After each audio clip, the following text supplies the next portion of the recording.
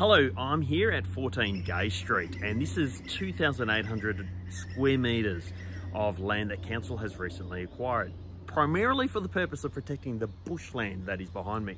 Now, at the council meeting on the 18th of May, we made some resolutions about what will happen with this site, and I'd like to explain the process and the thinking behind uh, that resolution that has been adopted by council. So let's be clear.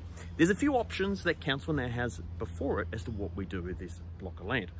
One option is that we potentially demolish the house that is currently on this land and make it all a bushland reserve and then in the future reclassify it as community classification for the protection of the community.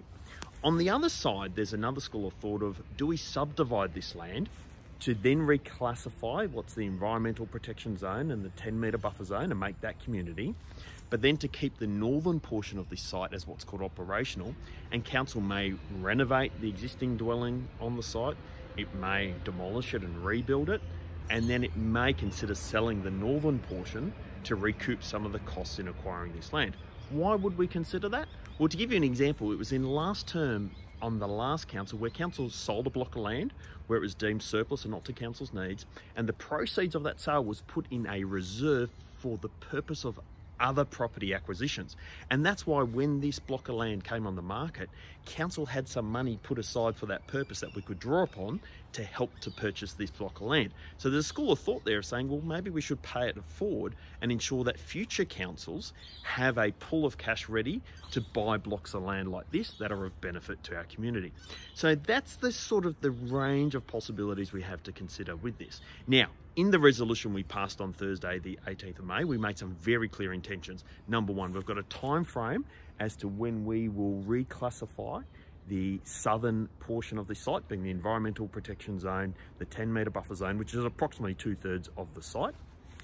Then we've got to go through a number of reports. So we need an arborist report, an ecological report, a report on any threatened species. Those uh, reports are going to help to inform what we do with this site. Now, as an interim, we have classified all of this land as operational, and I'll explain why. In the future, regardless of what option council determines, we know that at a minimum, the environmental protection zone and the 10 metre buffer zone, we want to reclassify as community for the protection of the community. Once land is designated as a community classification, council can't sell it. Now, the process of changing from operational to community is very simple. We just need a resolution of council and give the community 28 days notice that we're going to do so and we can reclassify it. Very straightforward process. How have we classified all of this land as community to start with?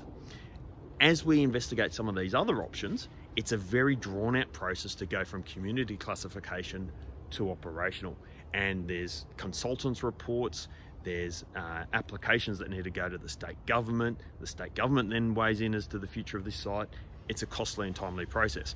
So basically the recommendation that was put forward to us councillors from the council staff is a model at the moment. It's a short-term measure that gives maximum flexibility and the most cost-effective way for us to determine what will be the long-term future of this site.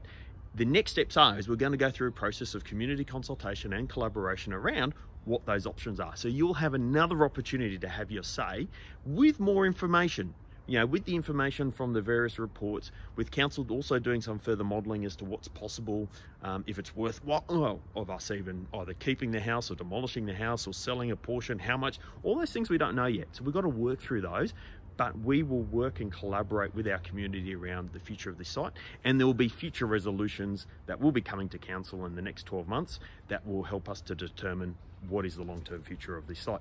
So I hope that summary is very helpful. If you've got any questions, please uh, write me an email or send me a message. Happy to answer any further questions. And I hope you found this update helpful. Cheers.